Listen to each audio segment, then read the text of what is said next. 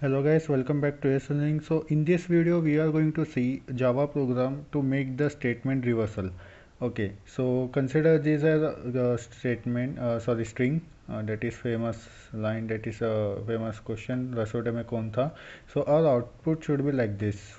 It will just reverse the occurrence of statement not the complete word like uh, not aht it will just print first tha then kaun then mein and then rasode as you can see this is our this should be our output.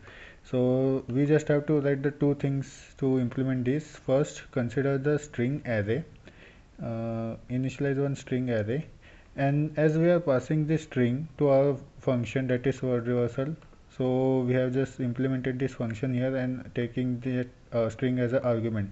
So we have now str which will hold the string and we just have to split. This is first step. This we just have to split uh, with spaces. So yeah with spaces.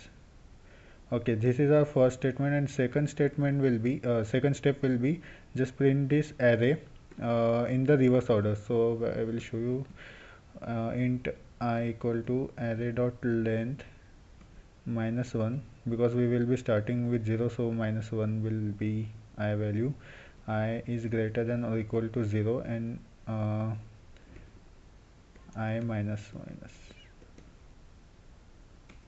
Okay. Now just print this system dot out dot print and then uh, array of i. So it will print this array in reverse order. Now let's save and run. Uh, okay it is coming in ln so let's remove this ln now if we say okay there is one more thing we need to do that uh, we need to add space here.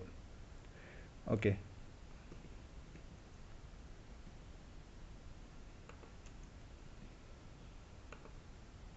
Yeah.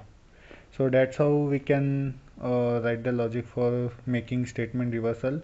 Just uh, like uh, split this the string given string with the help of spaces. So what it will do it will store this rasode in the first index then mein second word in second index third uh, word in third index like that and just print that array in reverse order. So it will print this question mark then last but one element and so on so i hope you got the concept and please let me know your thoughts in comment section. And if you have not watched our previous video on java interview question series data science interview question series SQL question series so you can go uh, to uh, our channel and watch the playlist from there.